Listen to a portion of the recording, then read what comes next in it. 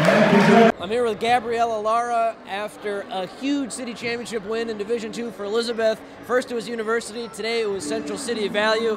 You sweep them, it was easy for you today. How was it so easy for this group? Um, it wasn't really easy. We just tried our best, and we did, we played the way we played. We played the Bulldog way, just like always. You were the four seed in the tournament, and you knocked off number one University earlier this week, and then today to knock off number two Central City Value. Did you feel like your seeding was a little bit wrong at number four? I just feel we work for our spot no matter what, and we always try hard. That's how we play. What are you going to remember most about this championship team? Um, I think all my players, because they will always be in my heart. And then last question for you: into the state playoffs now. What's it going to take to win a couple games? Just to play with all our heart and play the way we always have. Gabriella, thank you so much. Thank you.